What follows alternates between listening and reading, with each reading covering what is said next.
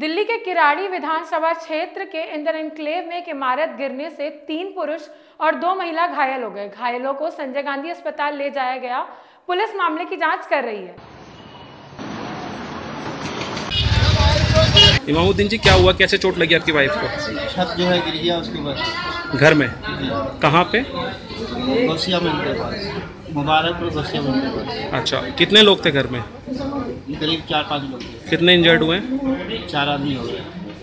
हालत गंभीर है सभी की।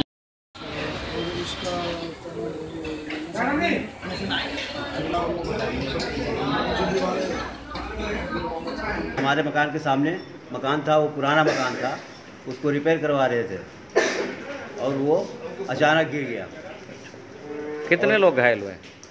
लगभग छः आदमी घायल हुए हैं। किसी एक का नाम बता पाएँगे या सबके नाम है तो बता दीजिए?